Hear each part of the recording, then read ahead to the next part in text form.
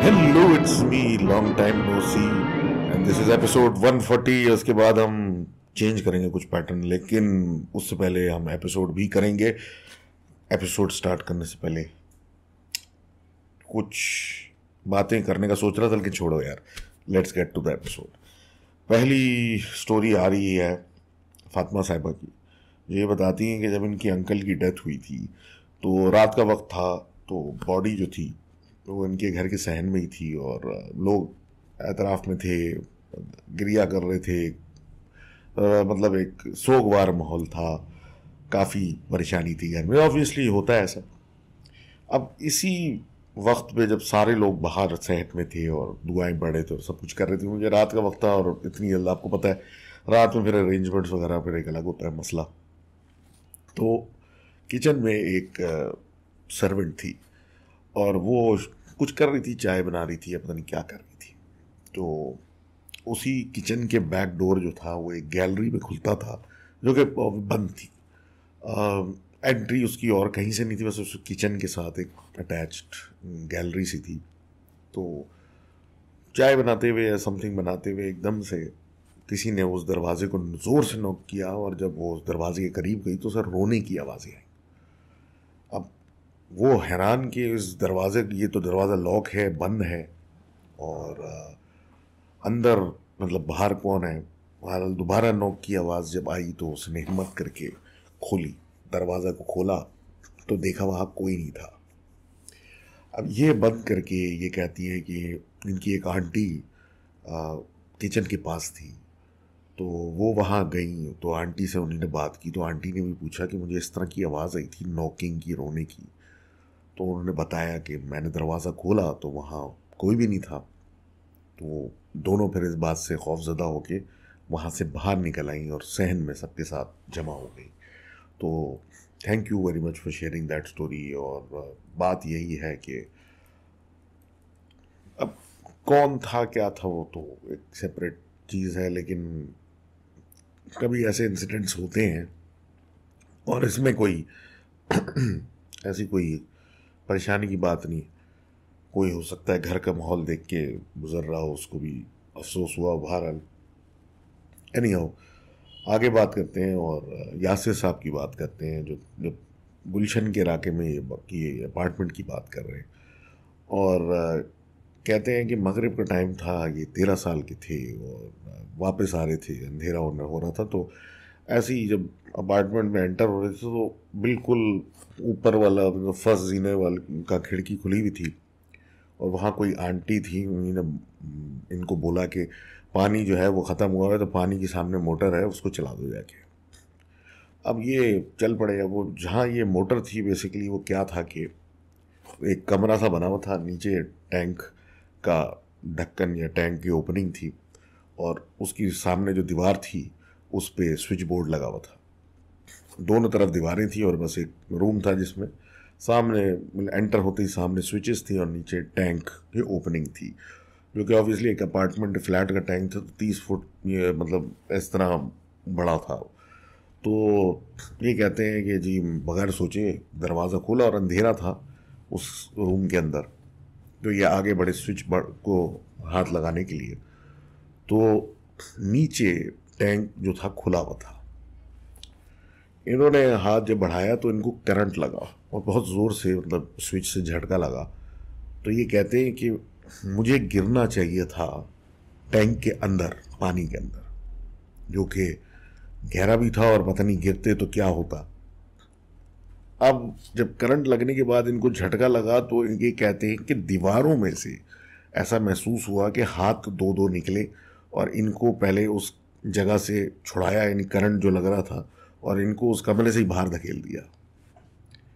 ये कहते हैं कि लॉजिकली स्पीकिंग तो ये अंदर उस रूम में नीचे जाना गिरना चाहिए था। जो ये नहीं गिरे और बाहर निकला तो इसको, इनको बेसिकली दो लोगों ने बचाया जो कि इनको नज़र नहीं आए, कहाँ से आई थी और क्या थी। तो thank you very much for sharing that story और ये इत्तेफाक भी है और एक चले, अच्छी बात भी है कि इस तरह की भी कोई बात आई और क्योंकि हमारे यहाँ ये बिलीफ है कि ये नेगेटिव पॉजिटिव दोनों होते हैं। ऐसा नहीं होता कि जिस तरह इंसान होते हैं, वैसे ही होते हैं। ऐसा सिलसिला नहीं है कि सारे ही मतलब सब के सब नेगेटिव होते हैं। तो एक इस एलिमेंट या स्टोरी से पता चलता है आपको कि ऐसा ही है कि बोथ साइड्स पे होते हैं। तो एनी हाउ आगे बात करते हैं और अताउर रहमान साहब जो लोअर दीर से ताल्लुक़ रखते हैं, ये कहते हैं कि ये गाँव में रहते हैं, जिसका नाम मैं थोड़ा पढ़ के बहरहाल बताता हूँ बार में, बहरहाल लोअर दीर से इनका ताल्लुक है, वहाँ इनका जो गाँव है, देहात है, वो काफ़ी सुनसान है और मतलब काफ़ी वीराना है इस इलाके में। तो 2017 की बात है सर्दियों की तो सीएनजी का वैसे ही इशू रहता था और है, आज तक है तो सीएनजी डलवाने जब भी कोई जाता था तो मार्केट यानी दूर जाना पड़ता था तो अकेले किसी को नहीं भेजा जाता था। दो तीन गाड़ियाँ हमेशा साथ जाती थी, ताकि अगर कोई मसला हो जाए तो कुछ हो। और वो जो पंप था फासले पे, वो उधर हमेशा रश लगा हुआ होता था और टाइम हमेशा लगता था। अब ये जिस सुजुकी वाले के साथ ये गए थे तो उसकी बारी पहले आ गई, वो थोड़ा आगे लग गया, लेकिन उसने इनका वेट नहीं किया, उसने बोला कि मुझे जल्दी है इमरजेंसी है, कुछ काम है, और वो निकल पड़ा। अब रास्ते में एक जगह आती है जिसका नाम खदक जई है शायद, बहरहाल, इस जगह की ये बताते हैं कि इस जगह पे एक बहुत बड़ा कब्रिस्तान है, जो कि रोड के बिल्कुल साथ लगा हुआ है। अब बहरहाल, इनकी जब बारी आई थोड़े टाइम के बाद, उस वक्त तक तो सुजुकी वाला जा चुका था। अब जब ये निकले वापसी के रास्ते में हिम्मत करते हुए अपने निकले तो उस रोड से गुजरे। जब उस रोड से गुजरे तो इन्हीं देखा कि वो सुजुकी वहीं खड़ी हुई है, कब्रिस्तान के बाहर। और दोनों जो बंदे सवार थे उसमें, वो रोड पे ही पड़े हुए और लग रहा कि बेहोश है। अब इनको उठा के गाड़ी के ऊपर डाला इनके एक दोस्त ने सुजुकी जलाई इन्होंने अपनी गाड़ी चलाई कर कर आके गाँव ले आए। गाँव ले आके इनको होश में जब आए तो उनसे पूछने की कोशिश की तो इनको बहुत सख्त बुखार, तेज़ बुखार था, इनको समझ में नहीं आ रहा था। तो बहरहाल इस चीज़ को इग्नोर छोड़ दिया गया और एक दो दिन के बाद फिर उनको पकड़ के जब अप्रोच किया गया तो कहते हैं कि रात के हम इस अंधेरे में जब जा रहे थे वापस, तुम लोगों को छोड़ के तो तेज़ गाड़ी लगाए हुए थे हमने अपनी सुजुकी में और जा रहे थे भगाते हुए। तो जब इस जगह पे पहुँचे जहाँ ये रोड के बराबर में कब्रिस्तान है तो वहाँ पहुँच के ये कहते हैं कि रोड पे एकदम से एक रोशनी सी फैल गई और उस रोशनी में बहुत सारे लोग जो हैं चहलकदमी करते हुए लगे और इतने थे कि रोड पे गुजर नहीं सकते तो उनको रुकना पड़ गया। अब जब ये रुके और इस हालत को देख के थोड़ा सा डर भी इनको लगा कि ये हो क्या रहा है हमारे साथ तो इन्हें गाने वाने जब बंद किए और गाड़ियों से बाहर निकले तो ये कहते हैं कि हमें नहीं पता चला हुआ क्या हम रोड पे बेहोश होकर गिरे कैसे। तो ये सुनने के बाद इन लोगों ने फिर ये रास्ता दिन में भी इस्तेमाल करना छोड़ दिया। तो thank you very much for sharing that story अगली स्टोरी आ रही है हमारे दोस्त की इंडिया से और ये कहते हैं, ये एक अपने ब्रदर इन लॉ की स्टोरी सुनाना चाहते हैं, कृष्ण नाम है उनका। और वो एक सिविल इंजीनियर हैं और 2016 में ऐसा हुआ कि एक प्रोजेक्ट के लिए भोपाल गए थे। अब ये कहते हैं, उस प्रोजेक्ट के लिए अब ज़ाहिर सी बात थोड़ा टाइम था वहाँ तो एक गेस्ट हाउस बुक हो गया, जहाँ सारे बंदे लड़के साथ में रहना शुरू हो गए। अब जो वहाँ का जो ओनर था उस गेस्ट हाउस का या मैनेजर कह लें, उसने कहा कि ऊपर एक फ्लोर है, पे, ऊपर वाले फ्लोर पे एक कमरा है, जिसको आपने छेड़ना नहीं है और वो लॉक है वैसे भी। उसके अलावा आप गेस्ट हाउस आपके लिए ओपन है, जो मर्ज़ी करें। कहते हैं कि शुरू में तो कुछ ख़ास नहीं हुआ फिर उसके बाद कुछ दिन गुजरते गए तो कुछ अजीब चीज़ें होने लगी कि पानी में मट्टी आने शुरू हो गई मतलब मडी वाटर आने लग गया और बिजली एकदम से बंद हो जाती थी जबकि पूरे इलाके में आ रही होती थी और फिर जाके चेक करते थे तो इस तरह की चीज़ें। अजीब छोटी मोटी अजीब होती रहती थी चीज़। अब ये कहते हैं कि एक साहब थे, इनके साथ मुसलमान थे और वो काफ़ी स्पिरिचुअल थे। तो जो इनके ब्रदर इन लॉ हैं कृष्ण शर्मा तो वो कहता है कि वो जो लड़का था मुस्लिम, वो कहता है इनको कि, शर्मा जी, आप दरवाजे के सामने मत सोइएगा। तो उसने पूछा कि मतलब ऐसी क्या बात है? तो कहते हैं, वो जो आने जाने में किसी को तकलीफ़ होती है, रात में जब आप वहाँ सो रहे होते हैं। बहरहाल, ये सुन के इनको कुछ और लगा और जिस तरह की वहाँ हरकतें हो रही थी तो ये उस गेस्ट हाउस को छोड़कर एक करीब ही एक होटल, अपार्टमेंट कह लें या कुछ ऐसी चीज़ में ये शिफ्ट हो गए जो कि opposite side of the road था, थोड़े से फासले पे।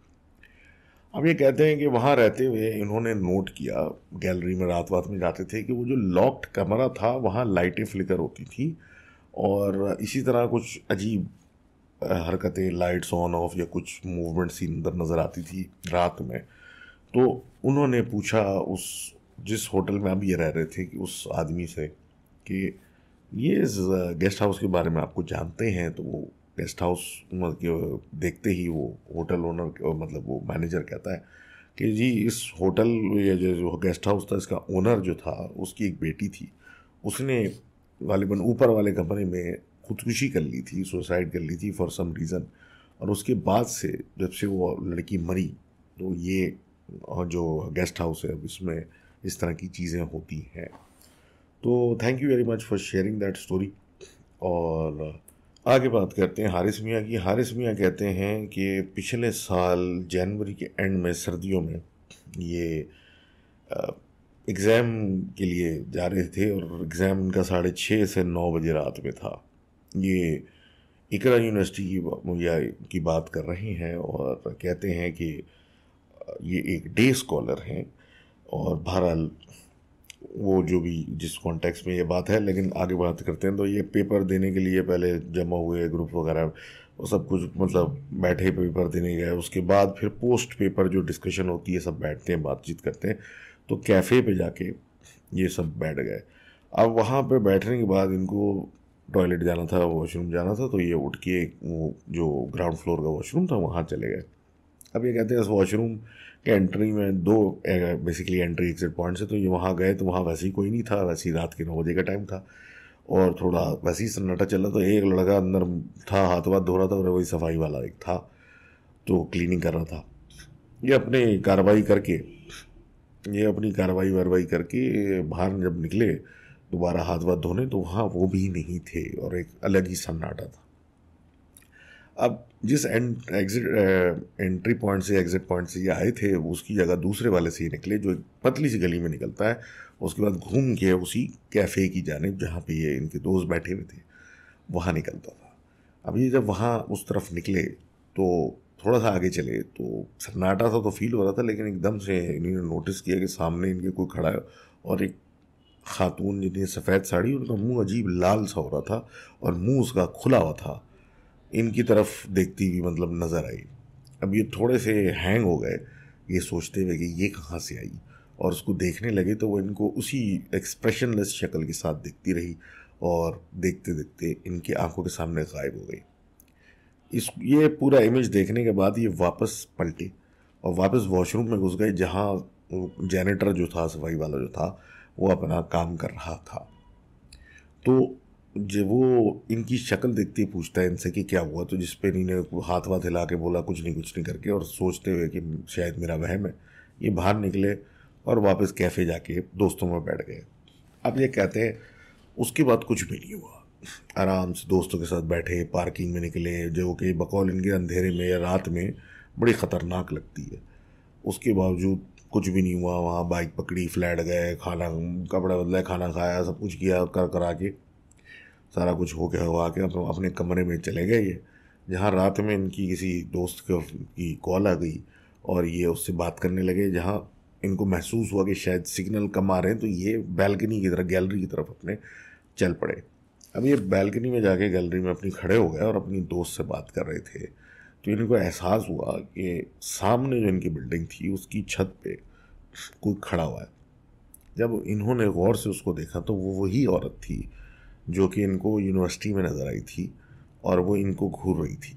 ये डर के मारे वापस अंदर की तरफ़ भागे और सीधा अपने बड़े भाई भाई के कमरे में घुस गए और रात वहीं गुजारी।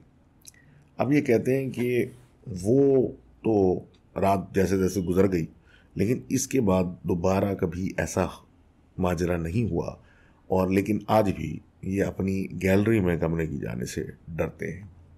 तो thank you very much for sharing that story अगली स्टोरी आ रही है सुंदर साहिबा की, जो कि बताती हैं कि 2016 में ये कराची आई अपनी बड़ी बहन की शादी के लिए।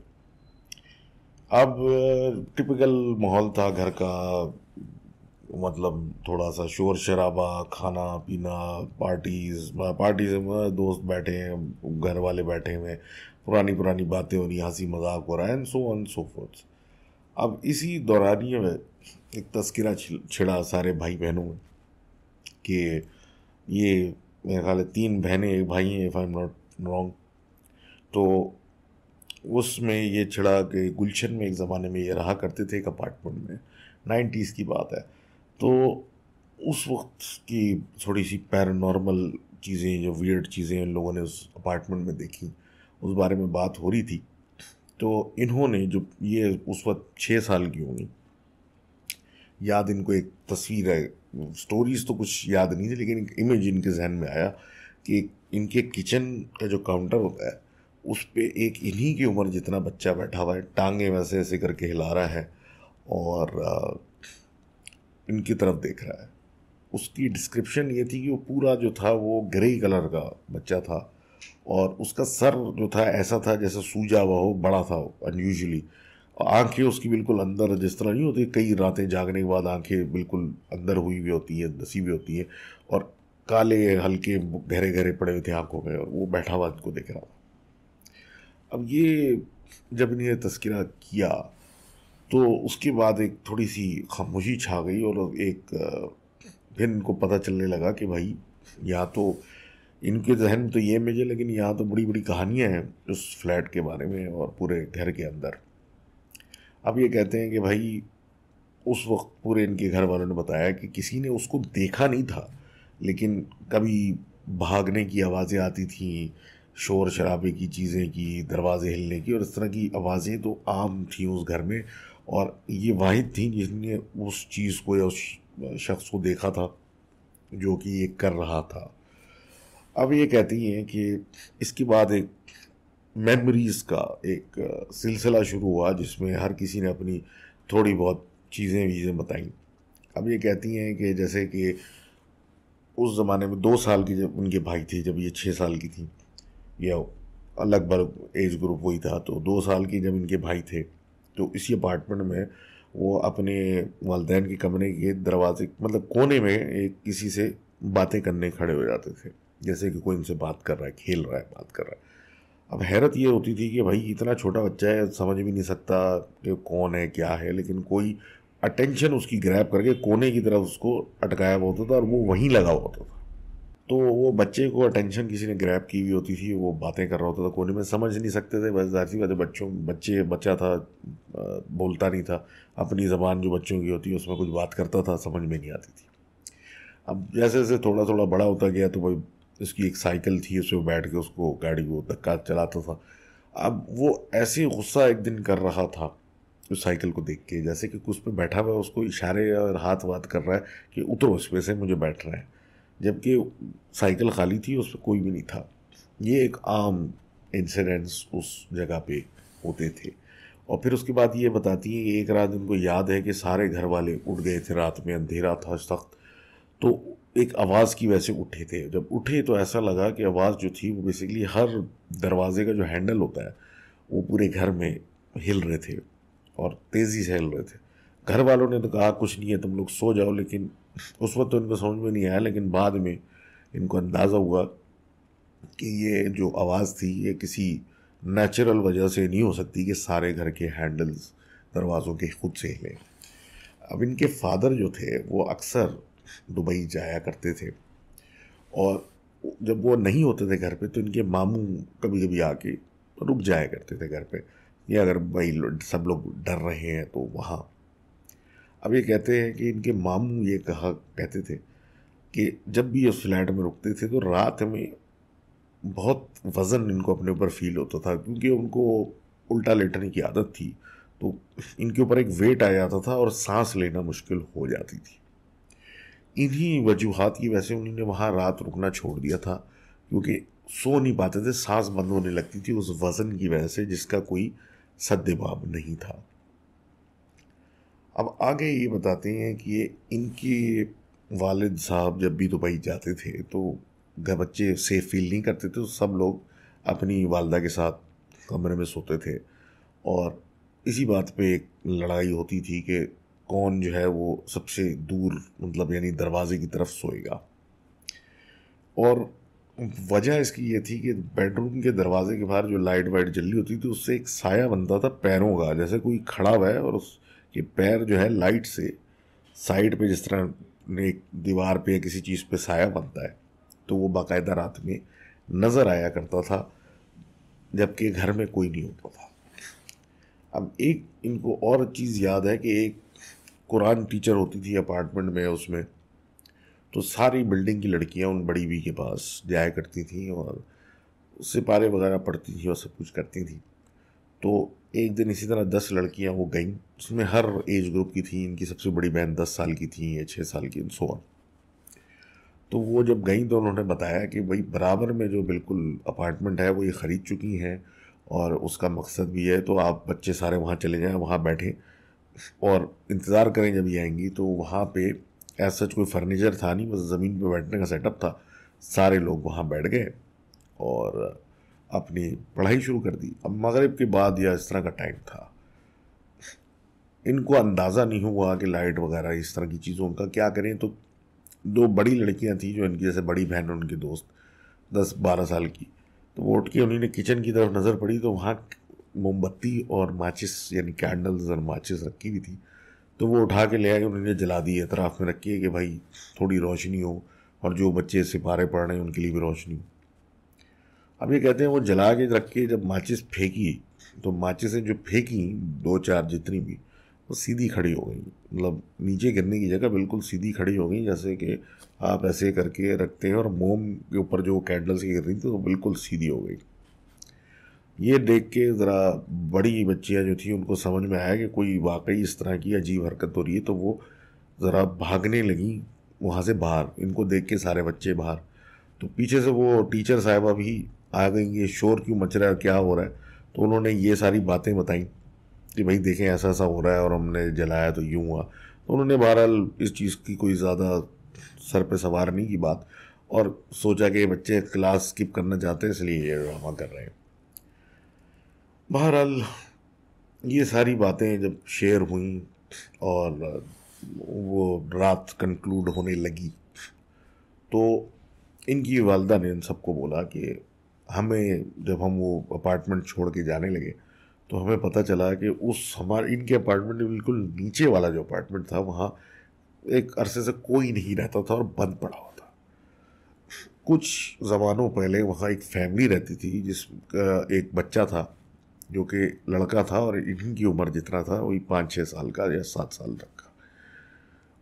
उनका एक बैल्कनी में एक पानी का टैंक था और वो बच्चा किसी वजह से गिरा और सर पे चोट लगने की वजह से उस टैंक में उसका मतलब अंदर चला गया और वो डूब गया और उसके बाद वो फिर फैमिली छोड़ के चली गई।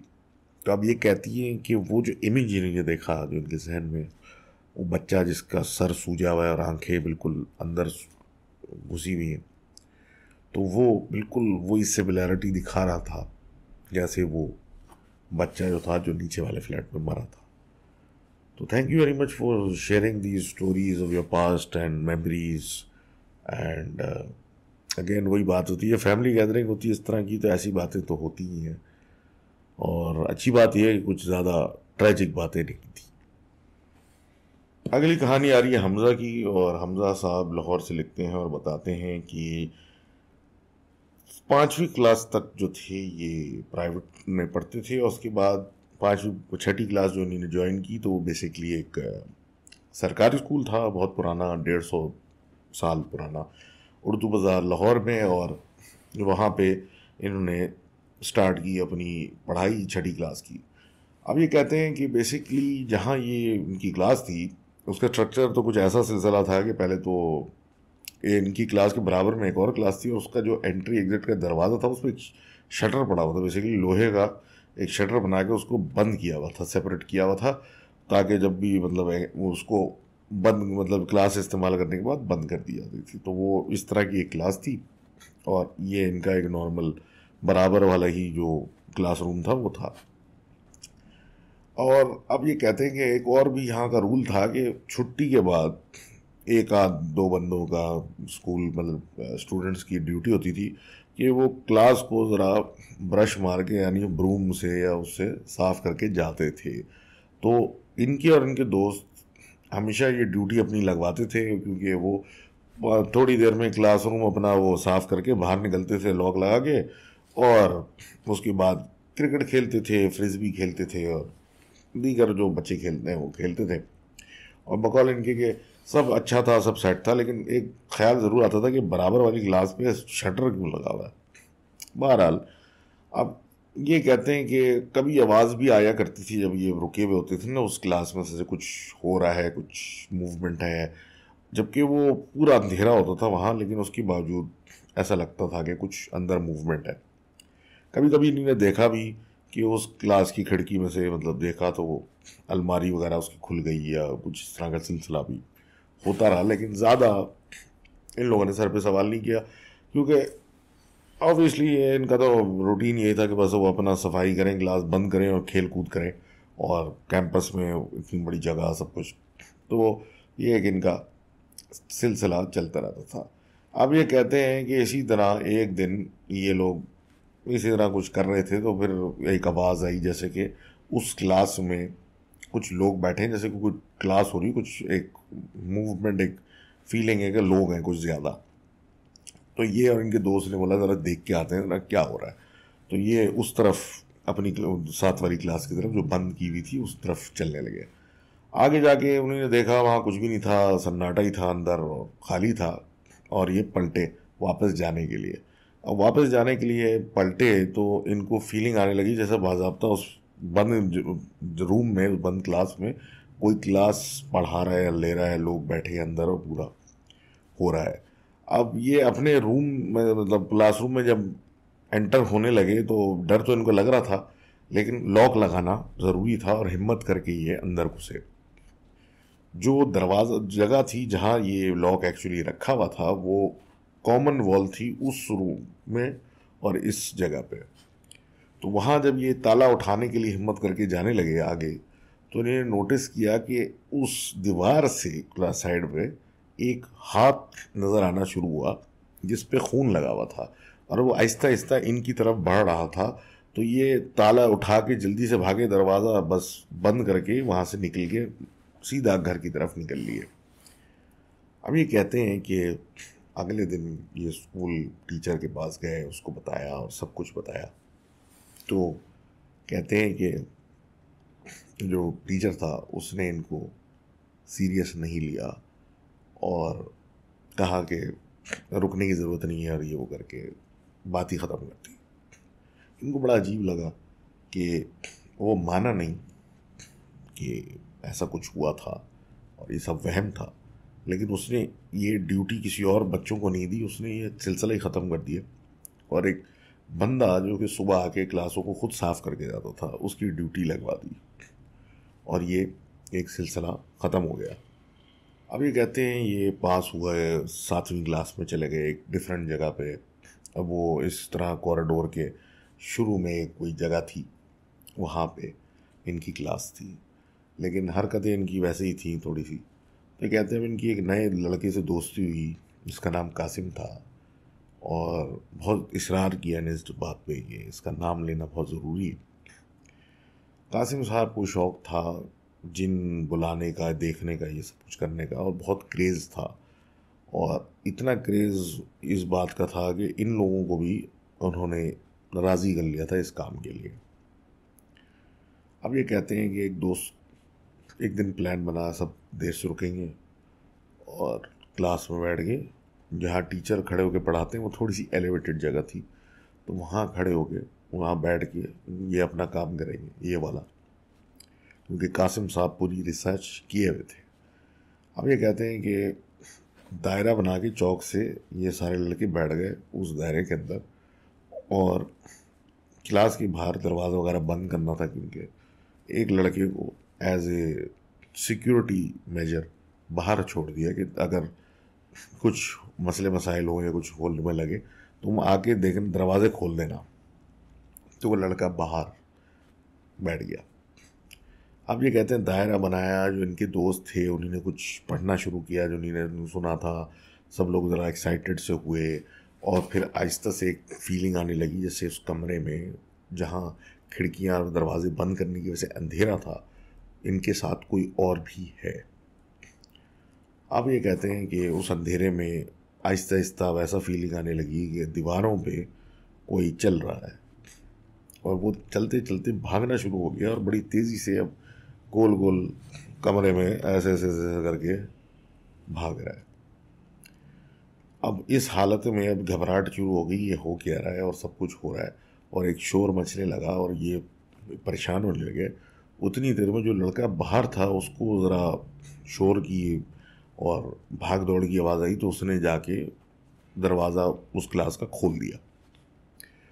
क्लास का दरवाज़ा खुलते ही ऐसा लगा जैसे कोई चीज़ स्पीड से बाहर कमरे से निकली है और वो जो लड़का जैसे दरवाज़ा खोला था, वो भी उसी किसी चीज़ के निकलने से बचने के चक्कर में बाय रिफ्लेक्स वो झटका खा के ज़मीन पे गिर गया। अब सब उड़ गया सब कुछ हो गया, वो लड़का कि उड़ के पूछ रहा था, ये क्या हुआ? और सारे लोग मतलब अपनी बातें करने लगे। तो नोटिस किया कि उस दायरे में कासिम साहब बिल्कुल सख्ते में आए हुए, बिल्कुल बैठे हुए स्टिल। उनके पास जब गए तो देखा कि कासिम साहब ने अपने ऊपर ही मतलब उनका पेशाब निकल गया था और बिल्कुल ही अजीब हालत में बैठे हुए थे। उनको हिलाया, झंझोड़ा गया और वॉशरूम भेजा कि, भाई, अपनी हालत ठीक करो, तुम्हें क्या हो गया? वो अजीब हालत में था, होश उड़े हुए थे उसके। उसको जब पकड़ के झंझोड़ा गया, बाद में दिमाग वमाग उसका क्लियर किया गया तो उसने बताया कि तुम लोगों को तो नज़र नहीं आया, लेकिन उसको जो ये चीज़ें करके बुलाई है उसने जो भी किया, उसको एक औरत सी चीज़ नज़र आई, जिसके बड़े बाल थे और अजीब सा चेहरा था, और वो बाल उसके मुँह पे भी अजीब तरीके से आए हुए थे। वो पहले तो कमरे में आई, उसके बाद जब कुछ कर नहीं सकी तो दीवारों पे उसने तेज़ी तेज़ी भागना शुरू कर दिया। उसकी हालत अंधेरे में इतनी समझ में नहीं आ रही थी, लेकिन जैसे ही कुछ देर के लिए दरवाज़ा खुला तो उसका चेहरा ऐसा था कि ये सकते में आ गए और वो हल्की सी रोशनी की वजह से जो निकल के वो बाहर कमरे से निकल गई, वो देखते ही दंग रह गए। ये चीज़ थी कि उसके बाद इनका शौक़ ख़त्म हो गया और इन्होंने कभी फिर स्कूल के बाद रुकने की हिम्मत नहीं की। तो thank you very much for sharing that story आखिरी स्टोरी जो आ रही है, वो तहा साहब की है और इस पे लोगों के अपने रिव्यूज़ होंगे, लेकिन बहरहाल हमारा जो फॉर्मेट है, अब ये कहते हैं लॉकडाउन में, तीन साल पहले की बात जो लॉकडाउन की बात कर रहे हैं कि ये और इनके दोस्त, ये अपार्टमेंट बिल्डिंग में रहते थे तो दोनों छत पे जाके रात को तो दोनों दोस्त जो थे रात में छत पे जाते थे अपार्टमेंट की और वहाँ जाके पबजी खेलते थे। अब लॉकडाउन में कुछ आप बाहर तो निकल नहीं सकते थे उस ज़माने में तो ये एक नॉर्मल सी बात थी, कोई छत पे बैठ जाता था, कोई कुछ करता था। अब वो छत पे बैठ के दोनों दोस्त पबजी खेल रहे हैं और नॉर्मल है तो कुछ दिनों के बाद इन दोनों ने खुद साथ, दोनों ने साथ में एक आवाज़ सुनी जैसे कोई औरत रो रही है। पहले तो गेम से मतलब ध्यान था, उससे हट के फिर उस पर फोकस किया कि ये कहाँ से आवाज़ आ रही अब जैसे दोनों का ध्यान ध्यान उस पर किया तो आहिस्ता आहिस्ता वो आवाज़ कम होने लगी और ख़त्म हो गई थोड़ी देर के बाद। इन्होंने इस बात को ज़्यादा सोचा नहीं हो को होगा, कोई परेशान होगा। कुछ होगा सिलसिला, और छोड़ दिया। अब ये कहते हैं कि नेक्स्ट डे ये ऊपर गए, वही सब। तो फिर वही। लेकिन अब ये था कि जो साहब लिख रहे हैं, वो कहते हैं कि उनको आवाज़ नहीं आ रही, इनके दोस्त जो हैं, उनको अब आवाज़ आ रही कि कोई ख़ातून रो रही हैं और आवाज़ आ रही है। वो पूछता रहा कि तुम्हें आवाज़ आ रही है, तुम्हें आवाज़ आ रही है, तुम्हें आवाज़ आ रही है तो उसने हर दफ़ा यही कहा कि मुझे तो कोई ऐसी आवाज़ नहीं आ रही। जब पहले वो सोचा कि शायद डरा रहा हो या कुछ कर रहा हो, लेकिन बहरहाल ये सिलसिला था। अगले दिन फिर वही हुआ कि इनके दोस्त को एक आवाज़ आ रही थी और इसी तरह रोने की। और ये फिर कुछ अरसे के बाद मतलब बैठना छत पे छोड़ दिया, ऐसी वैसे कि कुछ और सिलसिला ये। अब बकौल इसके टाइम भी लिखते हैं कि ग्यारह चौंतीस एलेवन थर्टी फोर पे रोने की आवाज़ इनके दोस्त को रोज़ रात में आने लगी। और अजीब एक माहौल हो जाता था और एक परेशानी और एक रोने की आवाज़ कहाँ से आ रही है, बंदा नज़र नहीं आ रहा, समझ में नहीं आ रही, एक अजीब वहशत होना शुरू हो गई। अब ये कहते हैं इनके जो वालिद साहब को जब यह स्टोरी सुनाई गई कि ऐसा ऐसा है तो उन्होंने एक मौलवी को बुलाया कि आके ये सिलसिला देखें। तो मौलवी इनके घर आए, इनके घर आने के बाद उन्होंने कुछ दुआएँ वगैरह जो आम दुआएँ, इनको बताई कि ये आप बार बार रिपीट करें। और ये सब करने के बाद मौलवी साहब उस घर से उतर निकलने लगे, जाने के लिए वापस। तो तबीयत उनकी कुछ वैसी नासाज हो रही थी उस घर में बैठ के बकौल लोगों के, इनको तो बाद में पता चला। वापसी के रास्ते में उनको दिल का दौरा पड़ा, हार्ट अटैक, और वो चल बसे।